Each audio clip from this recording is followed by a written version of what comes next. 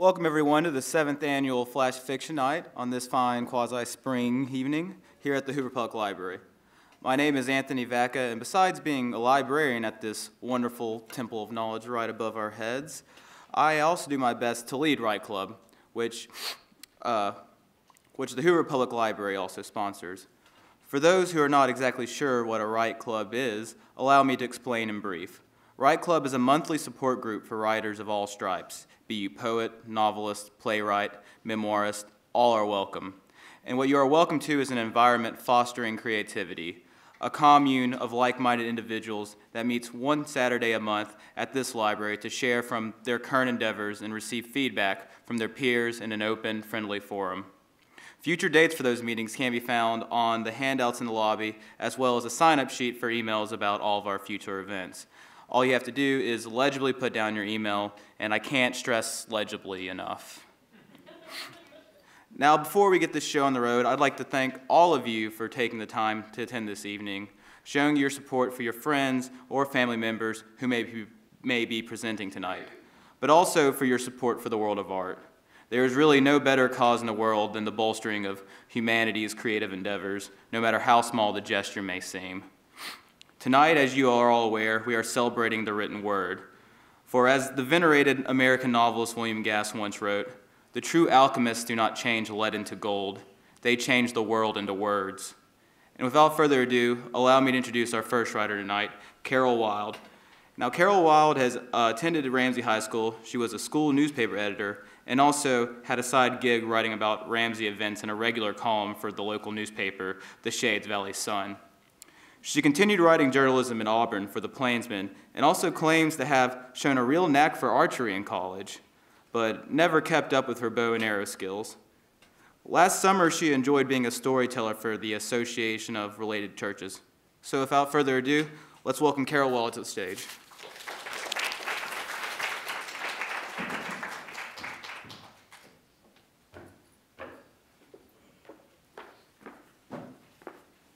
Good evening. I used to be so naive. Before I worked as an enumerator in the 2010 census, prior to that job, I thought number one, everyone trusts our government. Number two, the only reason an employer suggests wearing tennis shoes is to stay comfy while working on the clock. Ooh, not entirely true, either belief. I believed every day working part time as a census rep would be a simple way to make a good extra paycheck and a chance to meet new people on the job other than the usual office crew. Oh my God, that last assumption, only too true. After having dodged two lawn furniture tables successfully, I must inform you that there's a good amount of U.S. citizens who distrust any federal agency, even ones that don't want to take your hard-earned money. And tennis shoes are for running, like winged mercury, to save your bones from the local neighborhood fast-running, teeth-bearing hounds of hell. The census will never ask you to drive to interviews where you feel there is danger. What will happen is that you'll get assigned to areas off one GPS grid and away from cell phone towers, areas that will cause you to pray to God, Buddha, Confucius, whoever's on call that day, should you cave in and say that the assignment includes people who you swear came straight out of a horror flick? Uh, two college boys, uh, let's just call them Larry and Tom, will hastily raise their hands to volunteer for your assignment. At the next census meeting, Larry and Tom will imply that your Frankenstein psychos were incredibly nice, that they answered the interview two more times, and they even exchange Christmas card information. I, I would not allow Larry and Tom to make a fool of my work. I, my reassignment number was zero up until today. Uh, who would live on a gravel road like this that wound in circles around a hill like a cobra about to strike in the darkest woods ever? Then signs started, painted in red, uh, blood red, coincidentally. No trespassing. Another sign, stay out. This means you. After 10 signs, I began to think, okay, Larry and Tom, I give. But no turnaround. There was no shoulder against the narrow road from which to pull off. I would have ended up in a gulch in the dark woods, harboring strained hopes that Mr. Friendly Sign Maker would assist. A fat chance. I was forced to drive to the end of the road to Mount St. Outer Limits, somewhere in Alabama. Words echoed in my mind. The census worker's body was never located. After ignoring 10 no trespassing signs, the census has stated Carol Wild was not their brightest employee, but definitely devoted. I eased out of my Honda to take a long, uncomfortable look at this desolate spot. There's a gray 1930s dilapidated farm home in the distance with a tin roof. A middle aged, heavy set man wearing Dickies is in the front yard and he's alone. He's using a chainsaw to cut what seemed to be an endless supply of randomly shaped wood pieces. Oh no. Stacks of freshly cut wood everywhere, smells of pine, nothing completed. I say, getting his attention from the sawing, I present my ID badge and I ask for a brief interview, please. Mr. Lumberjack stops the saw, walks over. He looks confused but guarded. What is your name, sir?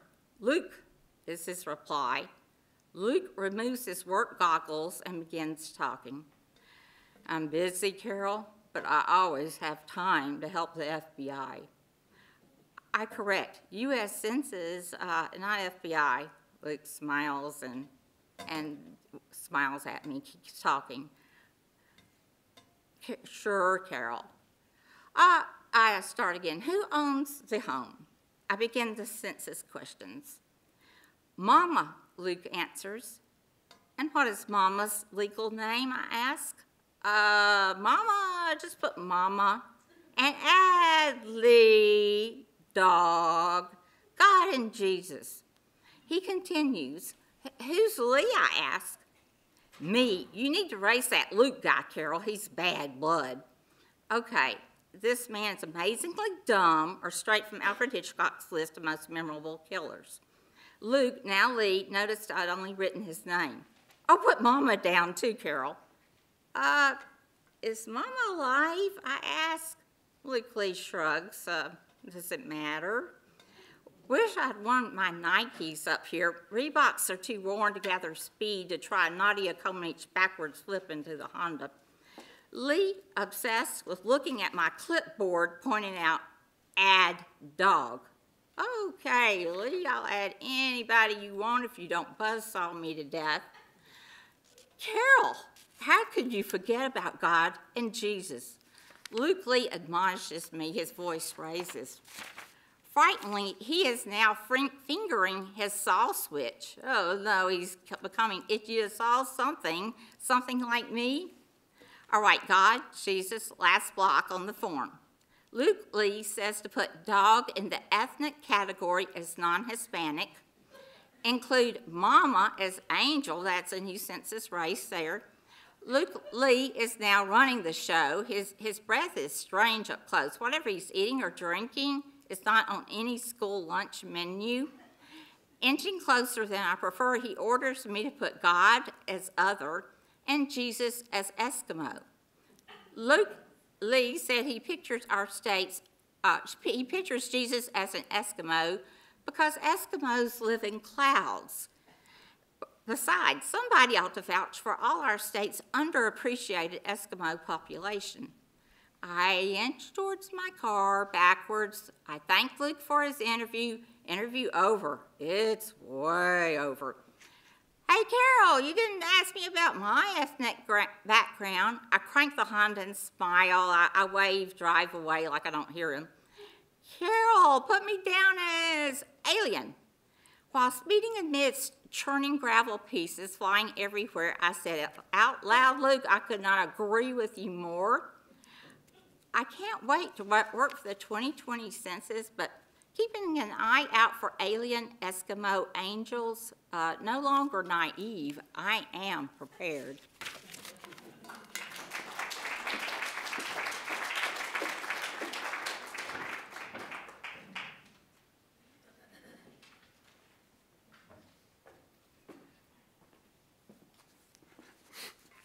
Our next presenter this evening is, is uh, a regular here at our Write Club, Phil Fisherman. He uh, Phil Fisherman was a U.S. Army officer in the chemical corps where he was an intelligence officer, where and he also studied chemistry at IU. Um, he's had a long career of sales and management, and now is retired. But he, since then, or actually, he might have been working on beforehand too.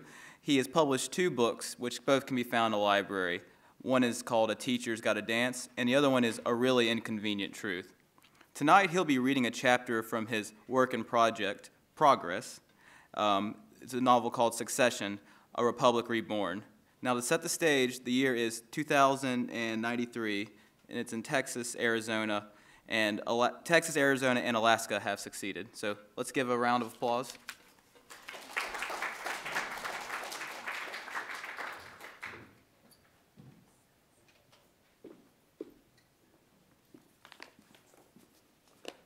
Thank you, Anthony. It's, it's 2043.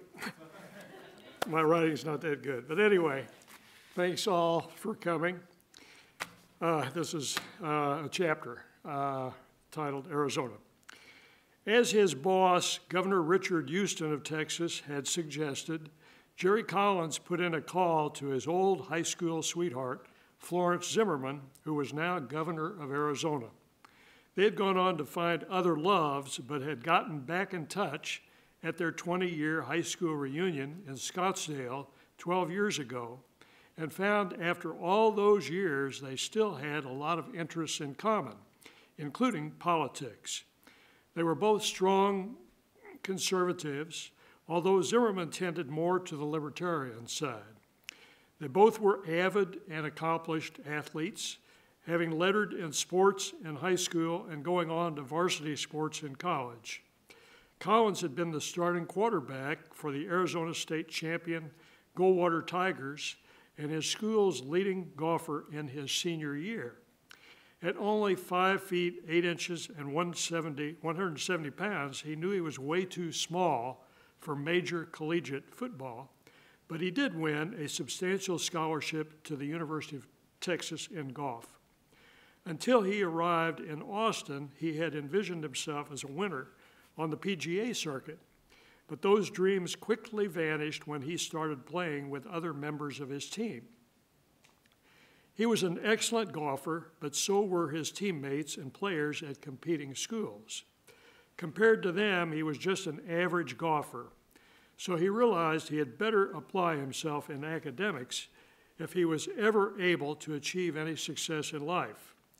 Fortunately, he was sharp mentally and enjoyed learning so that when he focused on his studies, he did quite well.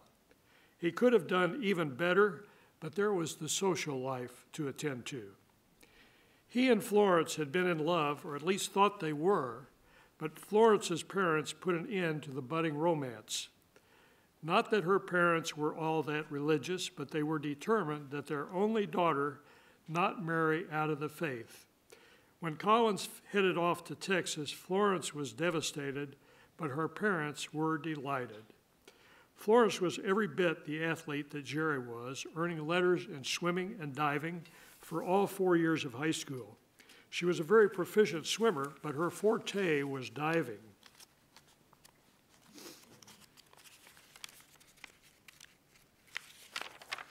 And her favorite was the swan dive, which hit, fit her physique perfectly.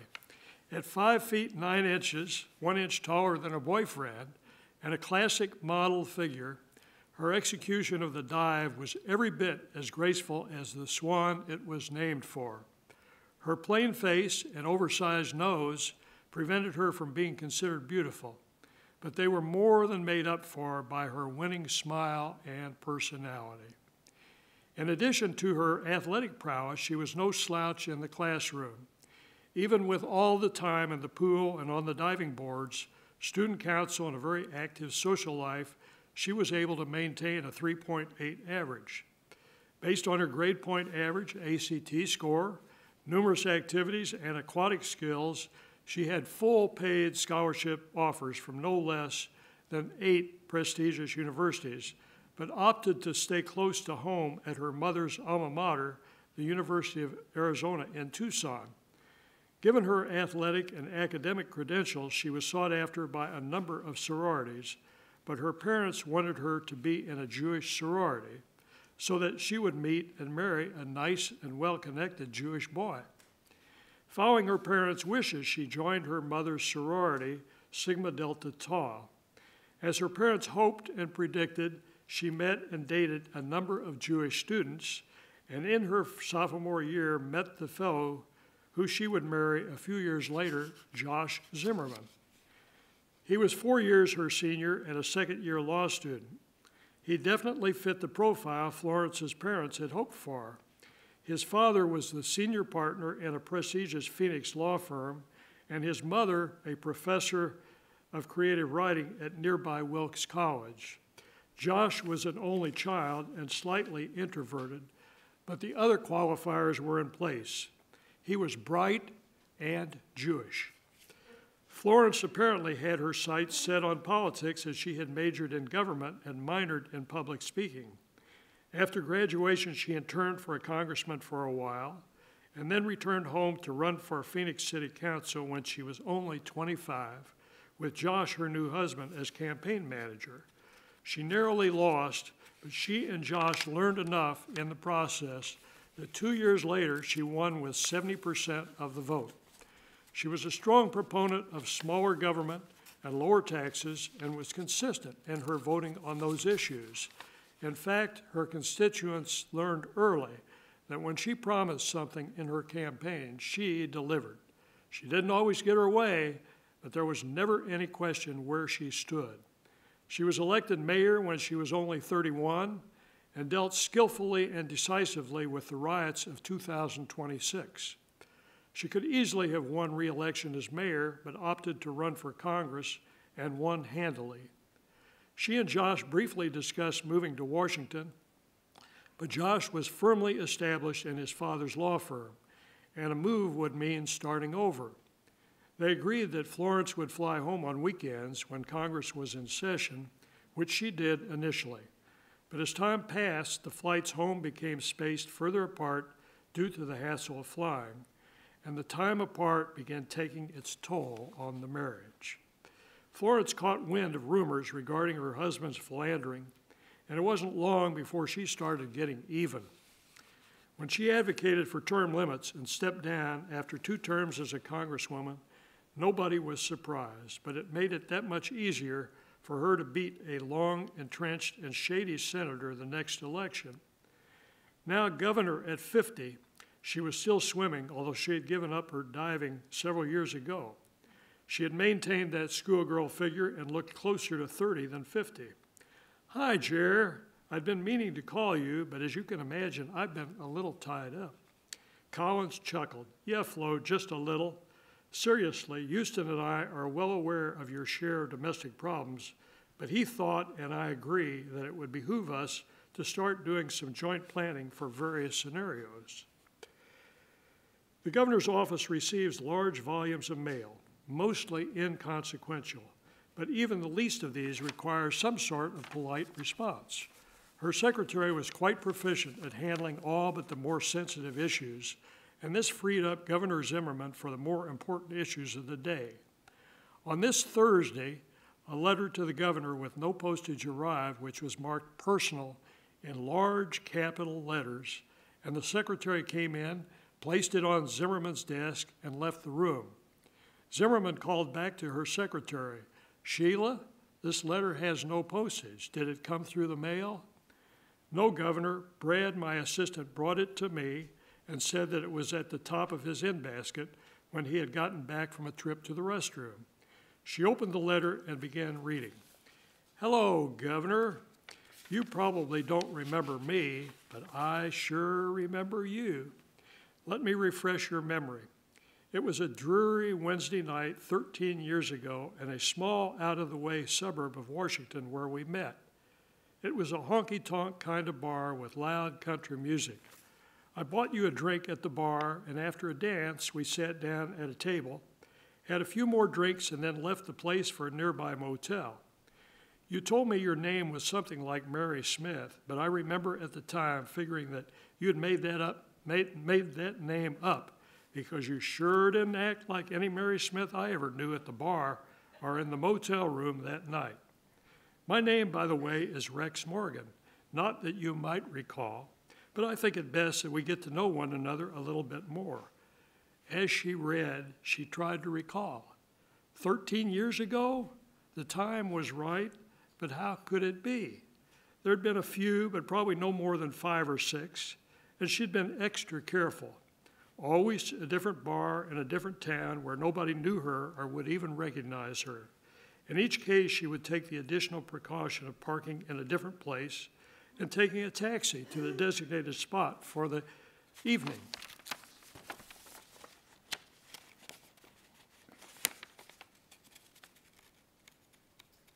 Pardon me.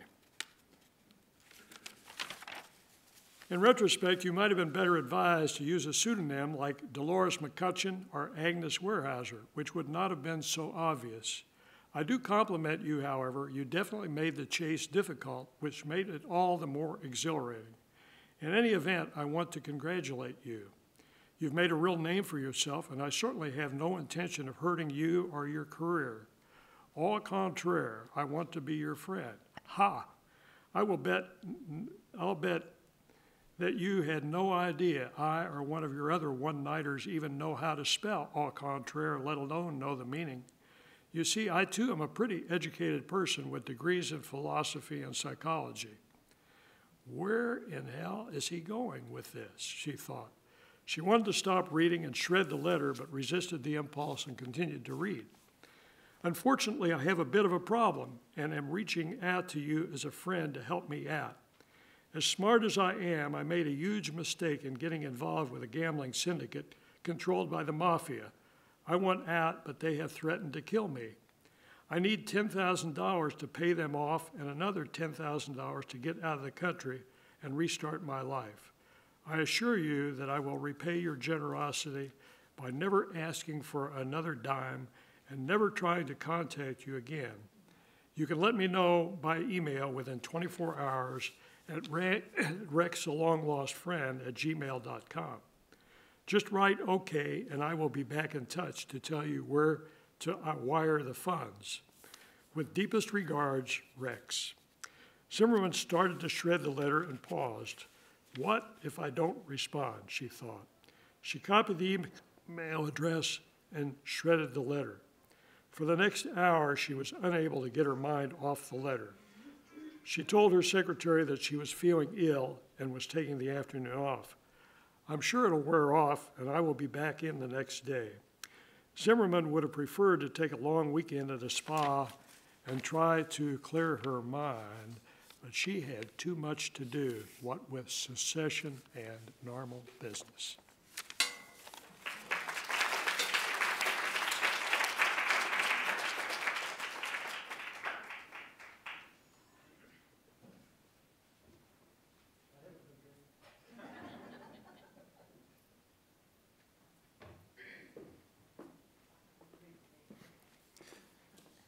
Now it is time for our first surprise of the night. Susan Green has actually hijacked a slot, and she was supposed to be next to last, but she threatened me, and so now she will be going third. Susan is a former teacher of French and English. While working, she always looked forward to retirement so she could finally get down to writing the great American novel. Susan's last year of teaching was in 1998, so she seems to have gotten the teensiest bit off track in her quest. Nonetheless, she would like to share with you tonight a snippet or two from one of her endeavors, a collection of observations about what she, call, about what she calls the boomer bummer, i.e., that is, the nightmare and funny side of caring for a parent with Alzheimer's. Let's give her a round of warm applause.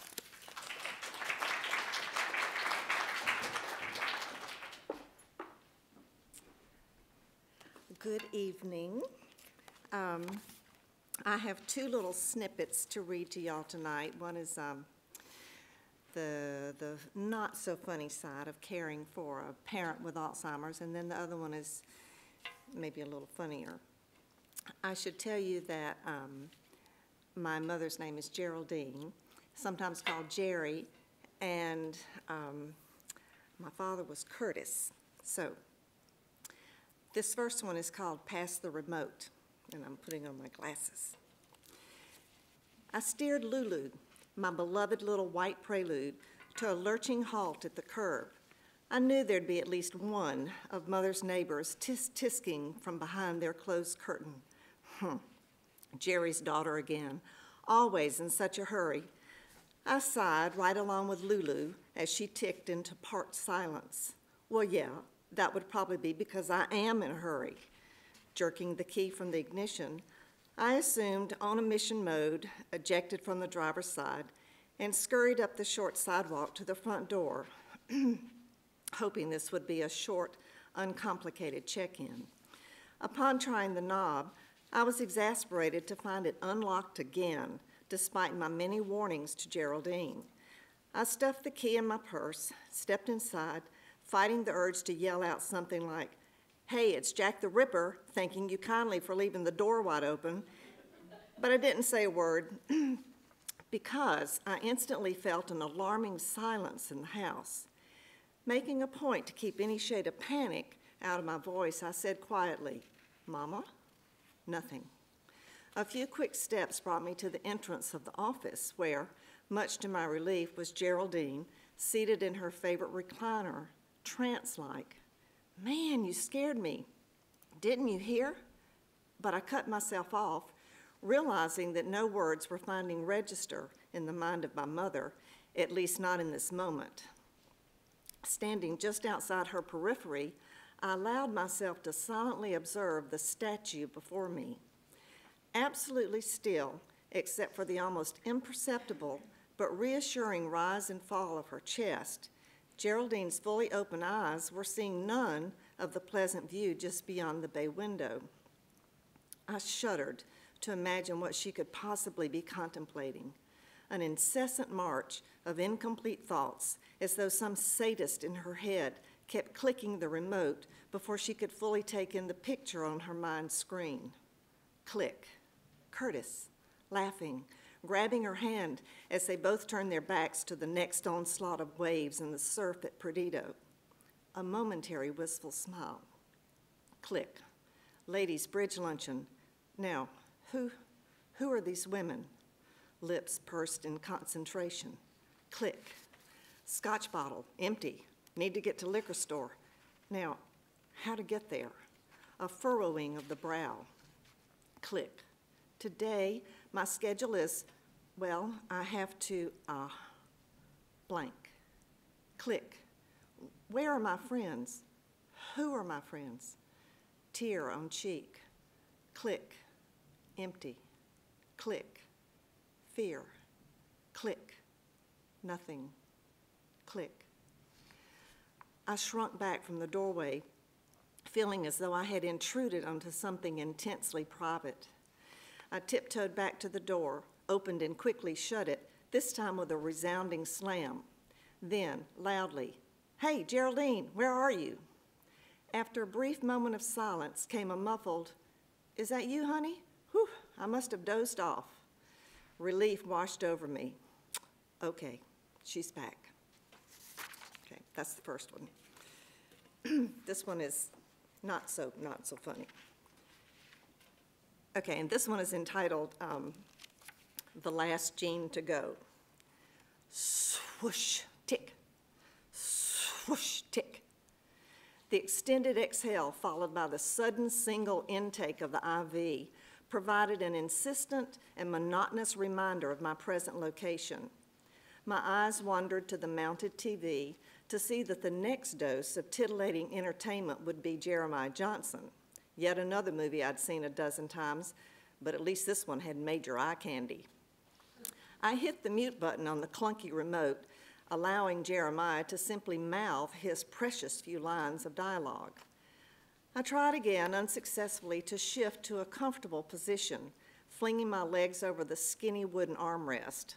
With its straight back and unnatural fabric, the chair's seemingly sole intent was to discourage visitors from staying too long.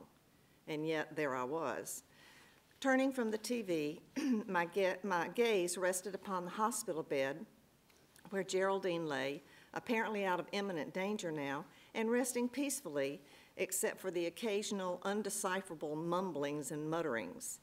Even without the drugs coursing through her veins, Geraldine's conversations, increasingly hijacked these days by the Big A, were a challenge. Except for being wheeled out of the room for this test or that procedure, she'd lain in the bed for what was approaching day three. All we can really do is just wait and see what the blood clot is going to do, the doctor had said. Yet another weekend of fun bites the dust, I thought, as I contemplated the, what was it, third, fourth event I'd had to back out of at the last minute. Nothing else to do, of course. No way could I have lived with myself if I'd flitted off somewhere and Geraldine had died alone in a hospital. Not that she would have known, but I would have. And so here I was again, seemingly needlessly, but at least avoiding even further guilt. Huh? Did you say something? I could have sworn a few syllables belonging to the English language had escaped Geraldine's lips, but no further sound was forthcoming. I settled back into position number umpteen, scrunching my arm between rib cage and chair back, my hand squeezing up at an impossible angle to hold my book. Out of the corner of my eye, I saw Robert Redford's face fill the entire TV screen again. I allowed myself to gawk a moment, sighed, and then turned to concentrate on the page, trying to forget where I was. A soft-shoed nurse whisked in and out to check the IV. The patient across the hall erupted into a coughing spasm. Machines dinged and beeped. Along the corridor, an orderly whisked the evening meals, their unmistakable hospital food aroma wafting in the wake. Eventually, though, all distractions reduced themselves to a blessed cloister of white noise. And then, suddenly, from the bed came Geraldine's voice, her voice of a good 10 years earlier, strong, clear, confident. Now that is one fine looking young stud. Swiveling around, I couldn't believe what I'd just heard. I quickly untangled myself from the chair and pressed myself against the bed, eyes riveted onto Geraldine's face. Her eyes were barely open, and her expression betrayed none of the hot mama observations she'd just uttered. I waited, hoping for more, but there was to be no further comment. I felt my earlier sense of exasperation dissipating rapidly. A smile crept across my face as I figured I'd just been lucky enough to witness what was perhaps the swan song of the last gene to go. Damn straight, Geraldine, you still know a hunk when you see one. Thank you.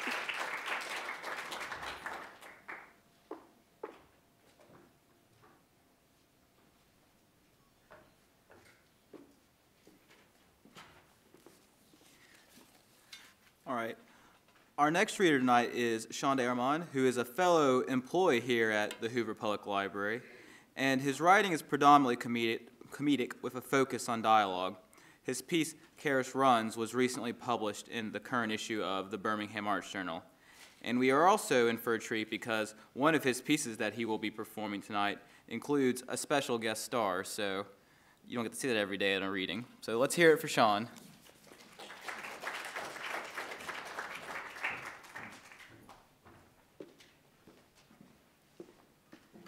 I want to give a quick hand to Anthony for holding Write Club together. What is this, like our sixth year or something? I always look forward to Flash Fiction Night. Um, I'm going to bring my, uh, my special guest, Annabeth from the Kids Department. She's graciously agreed to read my first piece, uh, like as of about 20 minutes prior to this performance starting. Um, after that, I'm going to read Karis Runs On, which is a 678 word sentence. So But before that, we have a dramatic interpretation. You sent for me, Your Majesty. I did, Lord Moulton. Thank you for such a prompt re- response. How could I resist being Her Majesty's first audience? An honor indeed. Quite. It was a lovely coronation, the finest since Queen Augustina herself. Your seventh, I believe. Sadly, yes. I never fully expressed my condolences for your father. He was a wise man. That he was. Unfortunately, someone was wiser. The royal family has many enemies. Lord Moulton, may I confide in you? Of course. I'm frightened. Well, even royal blood is prone to humanity, although it should never be observed in the courtyard. Agreed. I'm considering appointing a liaison to make appearances in my place. Well, far be it from me to question Her Majesty's decrees. I did not summon you here for you to hold your tongue. I'm aware you believe me inexperienced and unfit to rule, and in the shadow of my father's passing, I feel the true weight of your words. So, my counsel then. Would you care for a glass of wine, Lord Moulton? Ah, allow me, Your Majesty.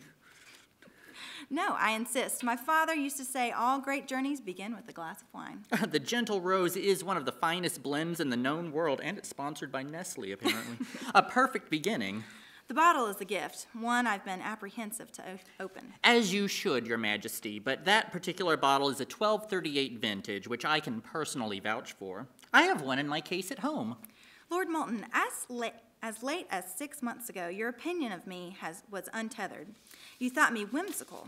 And what was it? Uh, naive, yes, a lovely trait for a child, but those who sit on the throne must be willing to do terrible things. Innocence is the first of many sacrifices. But when my father was killed, your opinion changed? I withheld my opinion out of respect. You also became very supportive of my reign. One might question such a change in stance. The wake of tragedy reveals much about a person's character, even to oneself. Occasionally, one such as yourself grows into the crown, and far be it from me to stand in the way. And what think you of me now? Still naive? You're very young, idealistic. Your father's assassin has been apprehended, and you still allow him to draw breath in his prison. I have unanswered questions. Answers are often the second sacrifice. The crown calls to action. And that call is mine alone. To unanswered questions, then. Lord Moulton, what would you do were you in my position? I drink from my goblet. The gentle rose is quite divine. The man in jail, he maintains his innocence. Of course he does. People lie, especially to the crown. It's a game, Your Majesty. Your longevity depends on your skill and how quickly you learn to play. Games are not something I find myself aligned with. Then I suggest you find someone who is and appoint that man to be your royal liaison. That man? Someone such as yourself, Lord Moulton? I would. It's best for everyone. There's no shame. Why not in 10 days you make your appointment? I could open my bottle of 1238 Gentle Rose and we can raise a glass of wine to a great journey together. I'm afraid that won't be possible, Lord Moulton. This is your bottle of 1238 Gentle Rose. I see. I was saving this for you. I've misjudged you. A pity, really.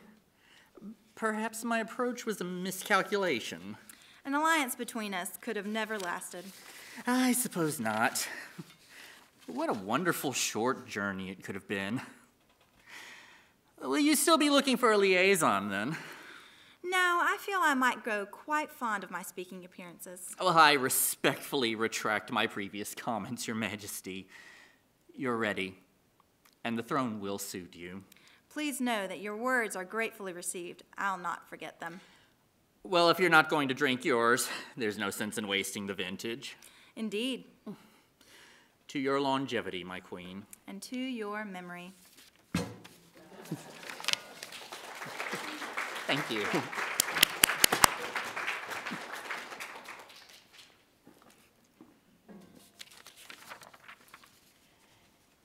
There was a crisp autumn webbing in the morning air, uncharacteristic of late July, which it was, as I laced up my newly broken in sneakers snugly around my carefully trained dancer's feet, which were graceful under the pressure of an audience's evaluation, but terribly inconsistent of balance otherwise, and began my unbridled horizontal free fall through the doorway, across the sidewalk, and onto the familiar pavement, which soon dissolved into the streets of strangers, with a stride in my footsteps, tapping out the rhythm of a veteran percussionist, granting the less experienced house instrumentalists a foundation on which to play and explore, and the earliest of unfortunate risers wearily greeted me with a silent wave and a melancholy attached to the jour- where was I? Attached to the knowledge of what undeserved stressors awaited them at the end of their vehicle's journey across the interstate, and the odd feline, who had undoubtedly claimed a better portion of the neighboring blocks as its area of dominance, took little more than a passing interest in my approach when I became aware that a motorized delivery service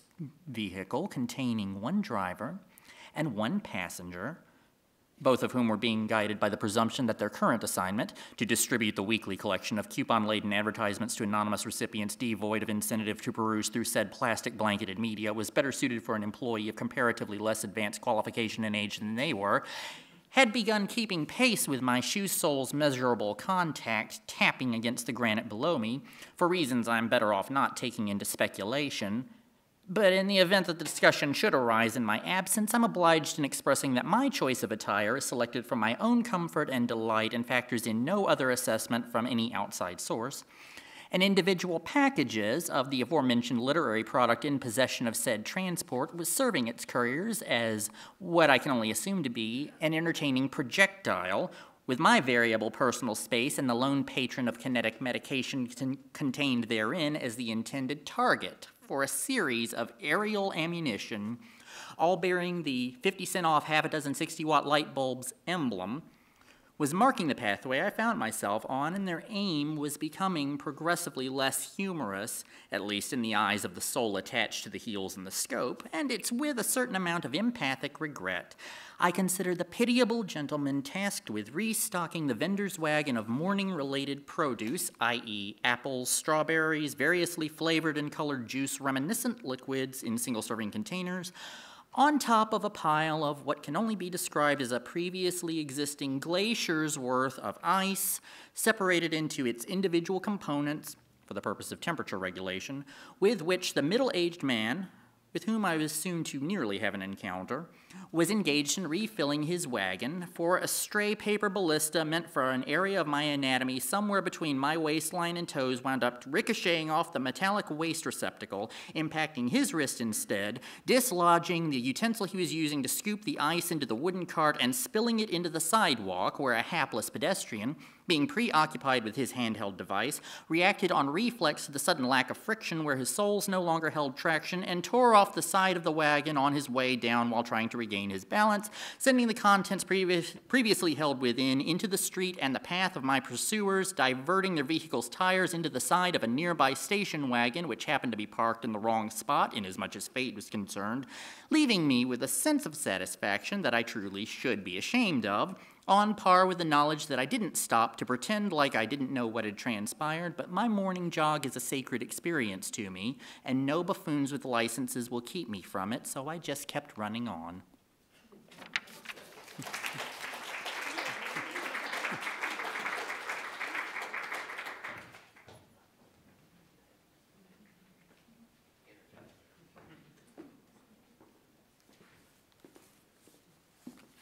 All right. Our next reader tonight will be Angela Thomas. Now, Angela is a resident of South Side of Birmingham, and during the day, and probably nights too, she's a caregiver. And at night, and probably at day for that matter, she is a poet. She has been published in such periodicals as The Guzzler and was awarded an honorable mention from the world of poetry. So, without no further ado, let's welcome Angela stage.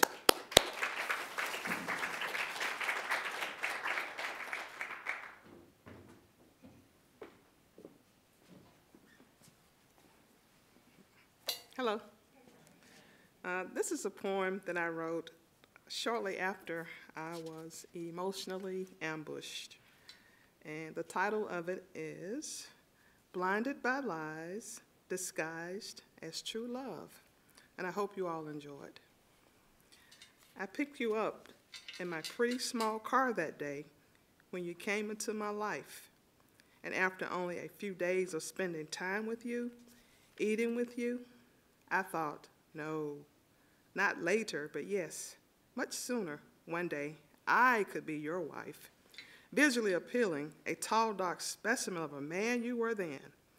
Spiritually grounded, family oriented, this well traveled intellect, I thought, could share with me many places never before have I been.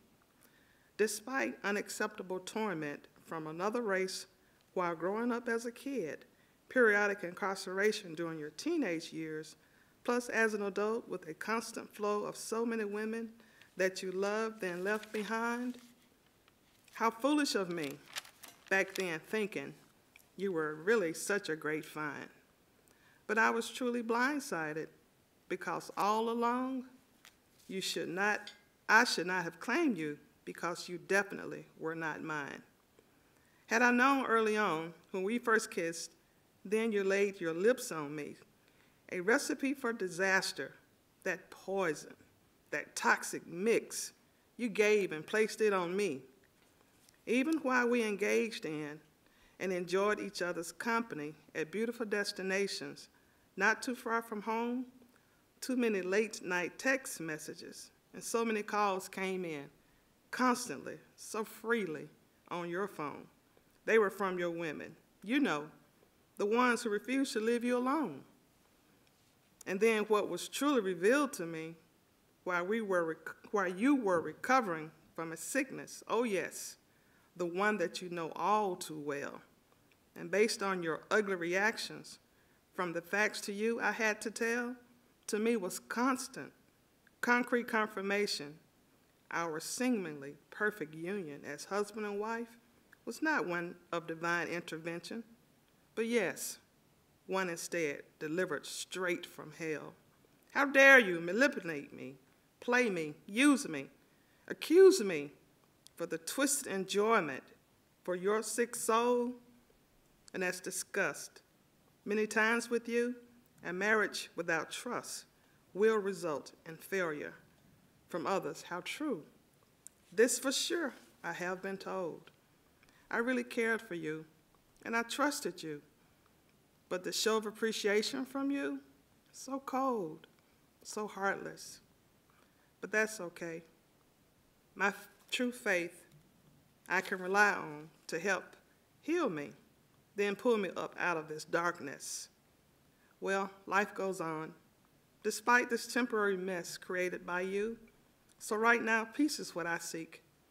And thanks to words of encouragement and positive influences, overall, your ruthless companion one day, I'm sure you'll meet. Why didn't I proceed with caution when I first met you? Well, I'll admit, I was lonely and looking for true love.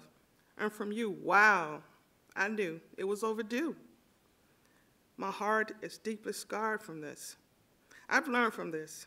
I must do the exact opposite of this. As God is my witness, this is my wish. And even though I was really blinded by all of your lies, disguised as true love, they will be obtained again kindness, peace, joy, happiness, and real love, but only from the Creator, you know, the one who sits high, looks down, takes notes, and observes from above.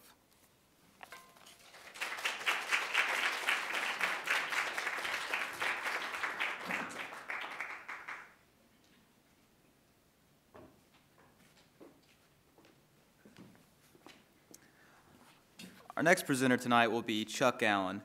Now, Chuck uses stories to remind himself and others of the important things in life. His works include both fiction and nonfiction, ranging from heartfelt love stories to humorous discussions of family or marriage. He and his wife, along with their three children, live in West Blockton, Alabama.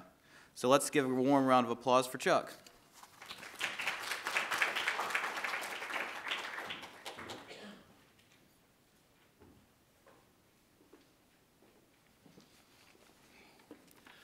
I'll be reading a piece titled Missing Jordan.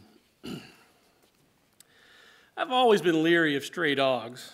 I mean, they might have diseases like rabies or mange. And on top of that, you never know when someone might show up and claim them. But when I saw Caleb playing with this dog, I didn't have the heart to object. It was the first time in months I had heard him really laugh. Sure, he had giggled and chuckled a bit, but Caleb has a laughter that can fill an entire house. Caleb's laugh usually captures everyone around, forcing at least a smile from even the most stoic individuals. And on this day, that laugh was back. It was our first real attempt at a family outing in well over a year. Granted, we were only 30 minutes from the house having a picnic at the park by the lake, but it was an intentional change from days spent at the hospital or sitting around the house. I wasn't so sure about the idea, but Lynn insisted that we do something. It'll be good for all of us, she said. At the moment, I was sitting in a lawn chair staring at the lake. Lynn was lying on a blanket reading a book. I couldn't make myself read anymore. In fact, there were very few things I found interesting these days. The images of Jordan lying in that hospital bed and later in that casket had left me feeling numb. When when Jordan first began chemotherapy, I was optimistic, certain that he would get better. The doctors had hinted that it was a long shot, but I had convinced myself that Jordan would survive. I didn't give up my hope until I watched them disconnect the tubes and turn off the machines and leave his lifeless body lying there in silence. But for some reason, I couldn't cry. Perhaps I felt I needed to be strong. Lynn cried nonstop for days. Caleb, at six years old, was obviously confused. Someone had to take care of the details. The next several days were filled with arrangements as well as visits from family and friends. The weeks after that had been the hardest as, we, as life tried to resume some semblance of normalcy. I started back to work. Caleb went back to school. Lynn cried less after a while. But life would never be normal again. It felt like a part of our family had been ripped from us, leaving a gaping wound. And if wounds can bind people together, then perhaps that's what bound me to this dog. Watching him and Caleb chase each other around the park, I noticed his strange gait. When they stopped, the reason became obvious. The dog only had three legs, where his fourth leg had been was a noticeable wound that had long since healed. But this didn't slow him down. He chased Caleb from the lakeshore to the restrooms, back over and over again. I couldn't help but smile watching them wrestle in the grass, Caleb laughing with the joy that accompanies a new friendship. I must have closed my eyes for a bit because I was startled when Caleb climbed into my lap. We're tired, Daddy, he said as he leaned his head on my shoulder. He smelled like a little boy who'd been running and playing. I rubbed the back of his head to help him drift off to sleep, but was interrupted by the dog climbing into my lap as well. Now, I'm not much of an animal person. I was about to brush him away when I noticed that he laid his head on Caleb's back. Caleb looked up at me with a big smile on his face. This is Frankie. He's my friend. With that, he put his head back down to rest. By this time, Lynn had put her book down and was sleeping.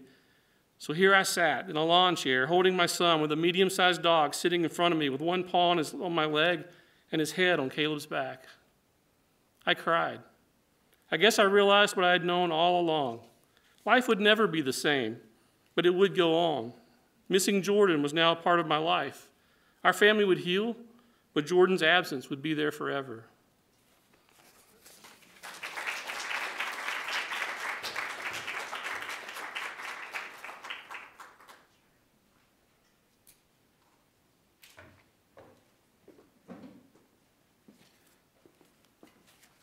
Our next reader is Christopher Michael Suda. Christopher is a Michigan native who now lives in Birmingham, Alabama. Chris is also a musician involved in three active projects here in Birmingham In Snow, Love is Light, and Follow Us More. Aside from music, he is also a poet who has been published in Fractal Magazine, Jonah Magazine, and The Outsiders Review, among also many other periodicals. So let's give a warm round of applause for Chris.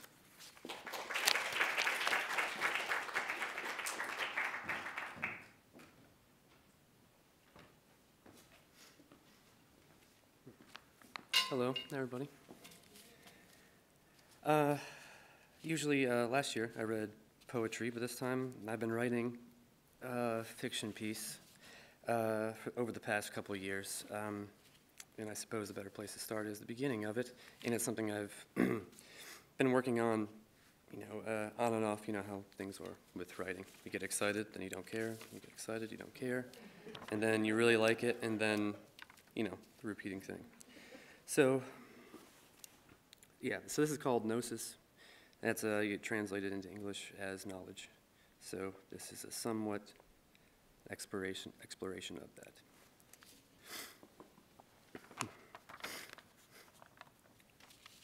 Cynthia Rowe claims she never had a childhood, but no one had ever believed her. Everyone's had a childhood. Perhaps hers had been one of those finely tuned examples of all having gone wrong, but that doesn't mean it just didn't happen. Sometimes I still wish Cynthia would figure out a proper way to only say what was going on in her mind. It's not that hard to do. At 26 years, I've been the only one responsible for her, for the past eight of them at least. Dad and Mom had died long, died long ago before she had made any real progress in the matter. And I didn't want a stranger looking after her day and night, so I just took care of her. Of course, there had been doctors down the road, psychologists, and the whatever have you, that have tried to figure her out, but it never worked. They all kept asking the wrong questions, or perhaps I decided to leave all the better ones in their lavishly shaped heads, perhaps, so they wouldn't come off as unprofessional. But that's only my opinion, a brotherly hindsight and foresight, if you will. For example, here's Cynthia- with her first therapist, a mere two weeks into her sessions. Psychologist one. Cynthia Rowe, your name is your name is Cynthia Rowe, yes? Yes, ma'am, sure is. What's yours? Uh, I thought we went over. Yes, we have, Cynthia. You should know my name by now. Would you tell me my name, please? Wouldn't you? But I like the way you say it. Just one more time, please. It's Dr. Wyatt. Dr. Samantha Wyatt. That's it. That's your name. Sorry. Sorry, Dr. Wyatt. Lately I've been having a case of what a fair amount of geniuses call memory loss. I can't recall if it's long, short term, but if I, had, if I had to guess, I wouldn't feel too good about getting the answer wrong. So I probably should just go ahead and find another way to go about it, other than guessing, you know. What would you suggest, Dr. White? Let's not worry so much about that right now, Cyn- Cynthia. Let's move on to what's really the matter with all of this. The matter of your childhood. What childhood? Here I am looking for answers and you just want to move on. Cynthia, that's I didn't I didn't mean can you not see what's happening here? I don't understand. Let's start what start at the beginning. There is no beginning. We have reached the end. Now let us approach the idea of my beginning. And just so we don't get off subject yet again, what is happening here is avoidance. Classical avoidance. You should know that. I'm sure you do know that. Nothing easier to spot than a clear cut hack. I'm sure you know that too. Doctor, I'm sorry, I, I apologize. You caught me on a bad one, but. Okay, you want childhood? Pull an extra wise file out of that cabinet beside you and begin reading. The story never changes, no matter which one you grab. Go ahead, grab one, pretend it's me, start fixing the problem, start fixing your problem. I don't need this. Okay, and that's one of my many examples of Cynthia's portrayal in the office. I hated whenever she had done this to me, especially when I had to watch those poor women and that one man walk out of their own offices, holding back their half sobs after they couldn't hold any of it back any longer. I would go ahead and bet some of them had wished their own files had been in those cabinets so they could at least attempt to do what they were paid to do for Cynthia on themselves. Cynthia, Cynthia was cunning, stubborn, obviously, for everyone that tried to work with her. And the worst part about it was that she had known this all her life. It, always been, it had always been a rather modest yet eager task for Cynthia to go ahead and take a uh, sort of advantage over another person's self oriented display of power. I will admit that I have at times enjoyed how she could throw the switch so perfectly during some of those sessions, though. She had this special gift which others were usually too afraid to show off in the everyday world. As the sessions went on, I realized that I only wanted for one thing to happen for all these sessions to end. After three years of therapy in Braintree, Massachusetts, Woodstock, New York, and the various other offices around the southern ridges of New Jersey that I could decently afford, it had become more and more difficult to get her to seek out alternative therapies. One would think that her ability to take over with ease the positions of power in all of those rooms would be a good enough reason to discontinue, but it hadn't been. But let us be clear she had never enjoyed herself in, in any of these sessions. She reviled herself during each and every one of them. Now, I believe she's got better because she told the truth in all of those rooms. And the truth for Cynthia was a type of pill, a sort of antidote that would sneak up on her when she hadn't been ready for it, but nevertheless had to let it expose itself in its own time. It was this species of medicine that kept her neurons alive. It made her talk, not about her feelings at that instant, but rather what she had been felt about having feelings that caused the truth to tongue its long way out. Now, this is her truth, mind you. In those rooms, where all of the accomplishments of an esteemed, well affiliated physician decorated all the walls, this had been the only place where she could exhale her one chieftain of all the anxieties in her own world the universal frustration of having been placed in a world without her having a say in the matter. Now, Cynthia wasn't suicidal. I say this because the time when she had come out of her room, or our room, we shared a single bedroom for the past three years, she can't stand being alone, and she said this I just don't believe in it. Suicide, you know.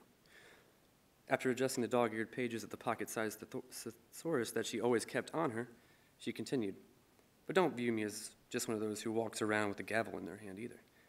I just don't believe it provides that sense of satisfaction that people think they get after they have committed the act itself, is all. She usually began these dissertations whenever she felt the moment had been right for them. then again, I cannot remember a particular singular moment when the time hadn't been that absolute textbook moment for Cynthia.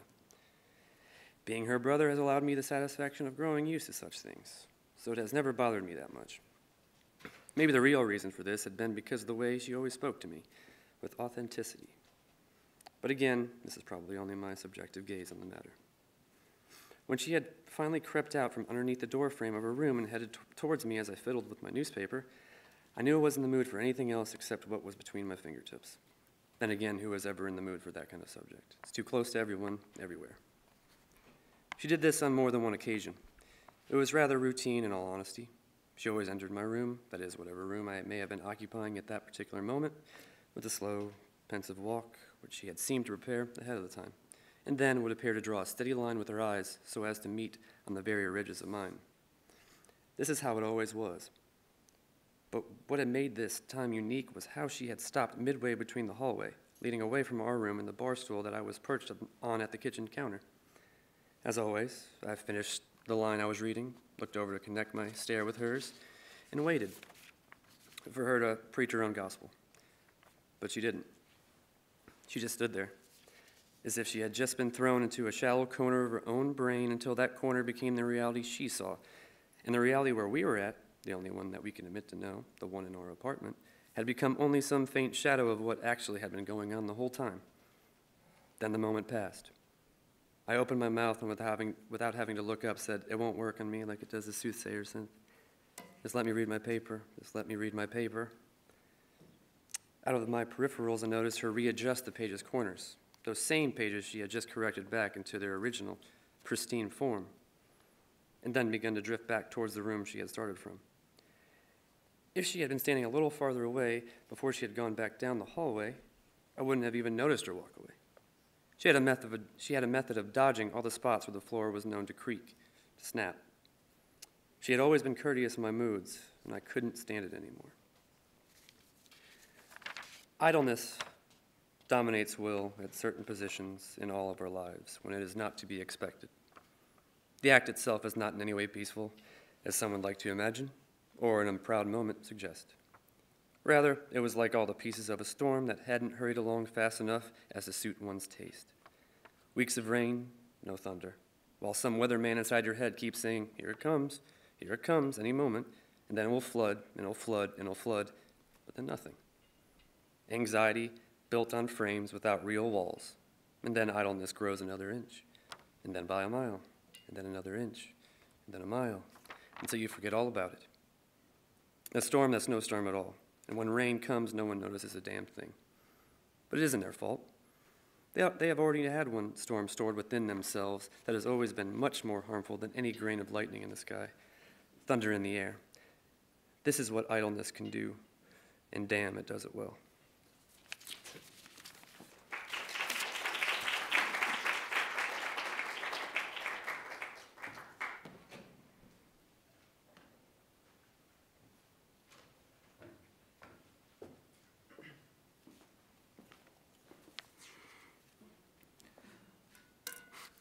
The story I'm about to read is an exercise, an attempt on my part to capture a singular and solitary experience and amplify it with galvanizing language in the humble hope that my effort resembles a reverie, or at least feels a little like Zen. My intent with this introduction is not to explain my story's meaning, but instead to encourage you, encourage you to chew over this as an afterthought. A person's reasons for doing what she will do with herself, be it her heart, body, or mind, always belongs to her first and foremost. In a perfect world, it would only belong to that person. And when some outsider decides to put their spin on an act, apply their social standards or their societal expectations, no matter whether they bleat for yesterday's definition of decency or if they take up the herald howl of the freedom fighter, they are still guilty of committing a theft. You may soon think that my subject too inconsequential to warrant all my this preemptory, this preemptory sermonizing, and maybe this exercise face plants before the finish line of its intended goal, which is to record with a static language and act lovely in its own simplicity. one that belongs solely to that person and for that person's reasons alone. So let us all try to understand that no one deserves our disgust for whatever strides they take to make their own life a happy one, and no one deserves to be quantified into a statistic, no matter how progressive or noble the cause. No person is the master of another person's universe. As Voltaire admonished in Candide, tend your own garden.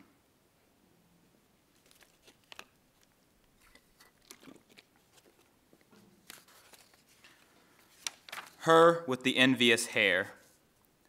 And they really were such lovely curls, nesting about her face in licks of burnt brown, helixing down the back of her neck in sinuous spirals. This labyrinth of tresses responded to light by unearthing the precious metal hues of gold and copper, no matter if the source came from the sun's brushstroke up above or from the tepid fluorescence of a bathroom light bulb. Not that this affected the cool scrutiny with which she studied her mane in the mirror, weighing locks within the palm of either hand with the impassivity of a balance scale. She entwined curlicues of brown around one finger at random, and then let the strands twirl back like a spring to their natural state of graceful buoyancy. She gave one last roving appraisal of her lush head of hair, her tongue firmly prodding the pocket of a cheek, loose tiles groaning underfoot as she shifted from profile to profile, and then reached for a pair of long silver scissors awaiting atop the porcelain lip of the sink. There are experts who explain that suicides always fumble first with hesitant cuts. But if some voyeur, a peeping Tom cloaked with muted wings and gloved with hairs that hook, were to swoop silently to some perch perfect for leering, a high seat on the wall, or the plastic clasp bookending an upper corner of the mirror, or maybe even the metal curve of the shower curtain rod, if this airfoiled sneak was slathering for her hand to swerve at the last second and snicker an ear by mistake, then what a bitter pill it must have been to see her snag four tendrils at once and take a bite through the meat of them with a single, single tuneful snip, the curls plummeting to the blue and white tiles like flies poisoned in mid flight. The bathroom floor staged a barber's ballet, a performance unobserved as she resolutely hewed the hair pillowing her angular features, working at a slant through the coils curtaining her ears.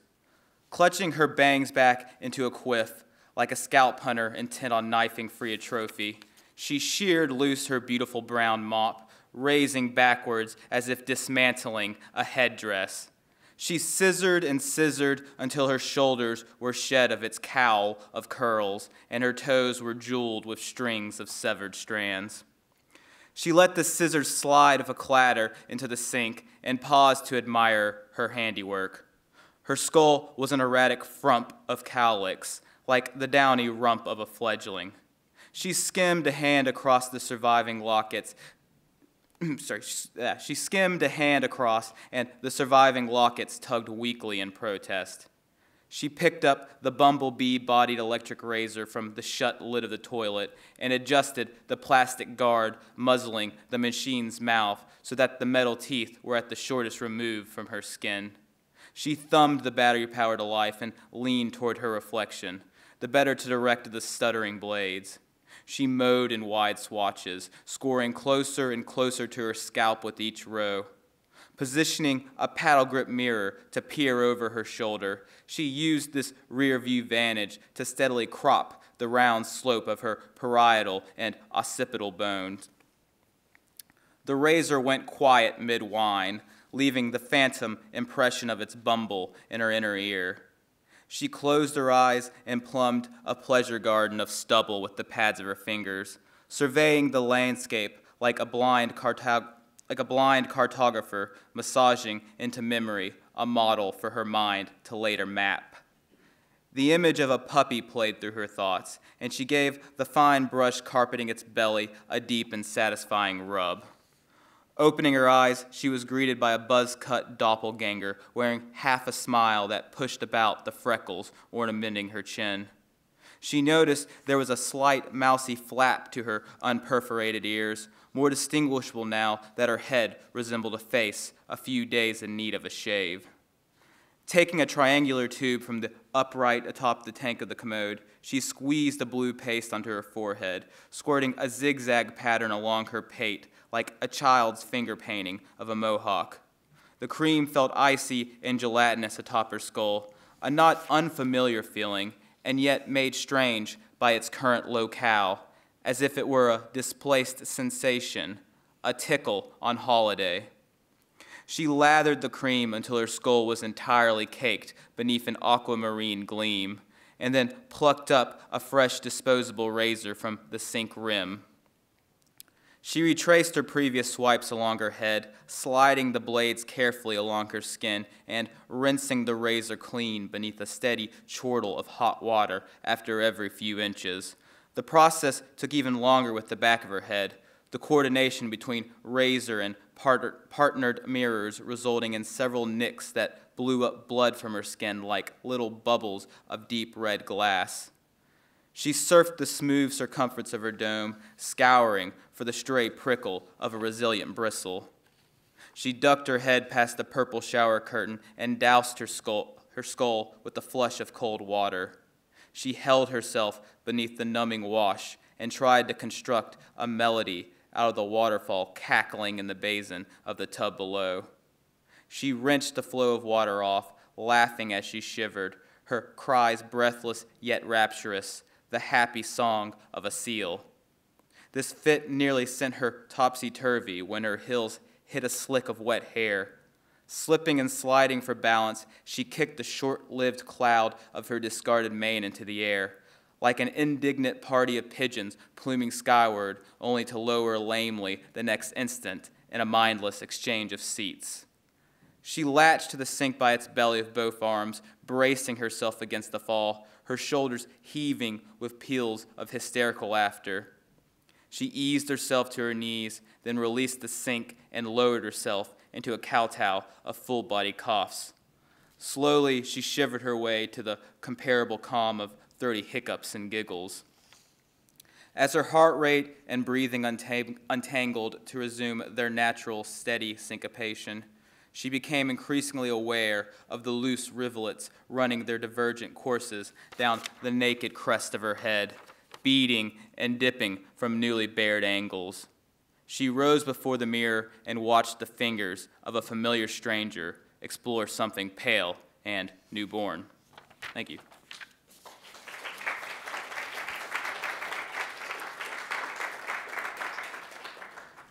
And last but certainly not least, we will be having Nancy Dorman Hickson.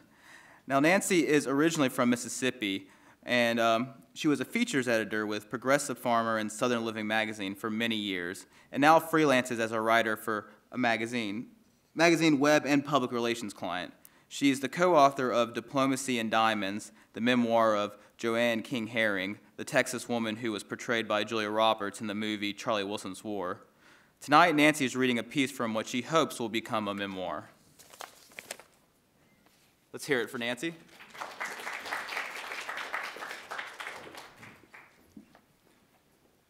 Thank you very much for waiting to the bitter end. Punchline. We've never blended as families, so why start now with Dad's death? Instead, we divide the task involved for his funeral. My sisters Beth and Mary and I camp at Beth's home.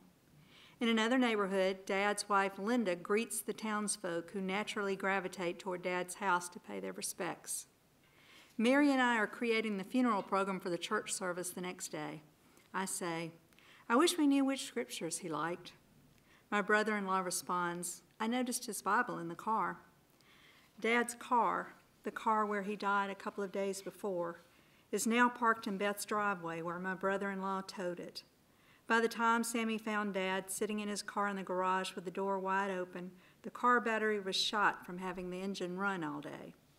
We don't know if Dad had been returning or leaving when his heart, excuse me, when his heart stopped.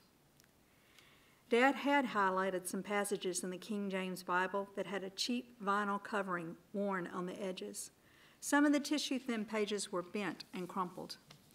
Come on, let's decide. We've got to finish, says Mary, the type of woman that writer Anne Lamott describes as a clipboard person. My younger sister never li- lives a day without a list. even her lists have lists. This is the way she copes with both the everyday and the forever, taking charge and taking names. I, on the other hand, would have preferred poring over each passage that my dad had noted, contemplating them all before deciding which might be the most appropriate for this final tribute.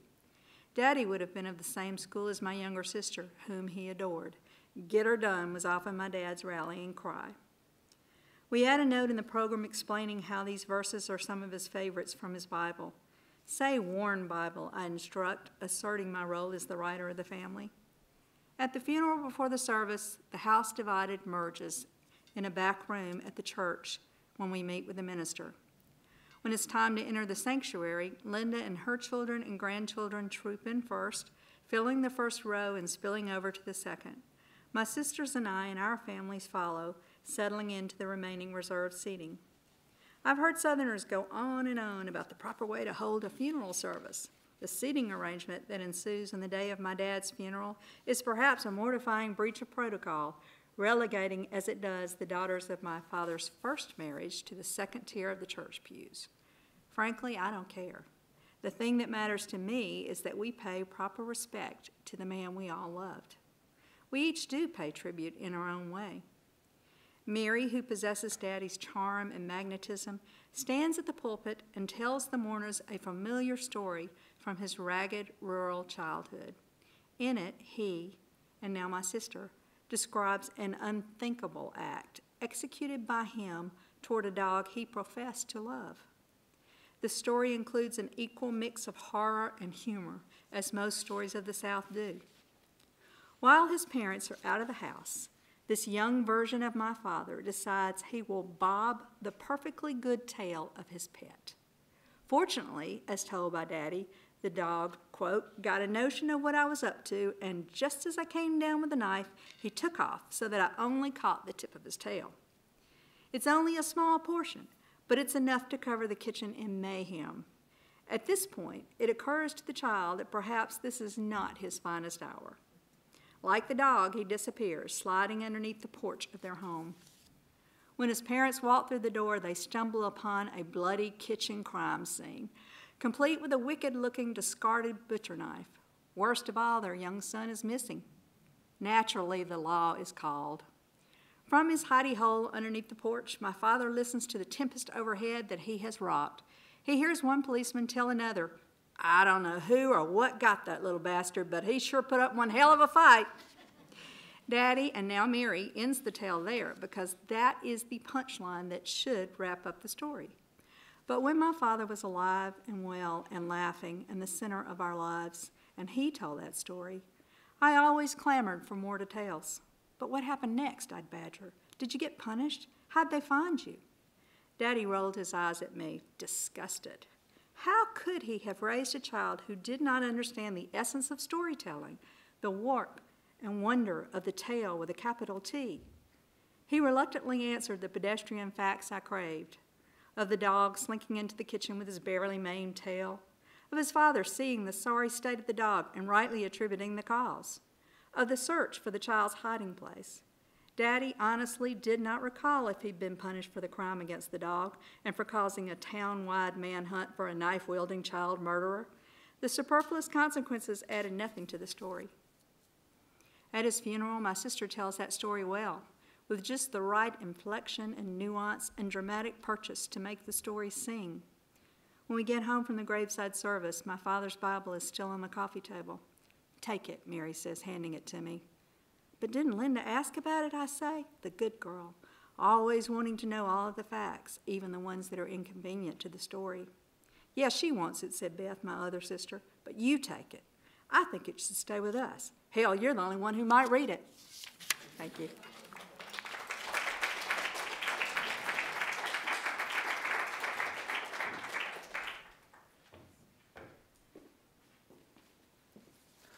Let's give everybody here at the night one last warm, warm round of applause.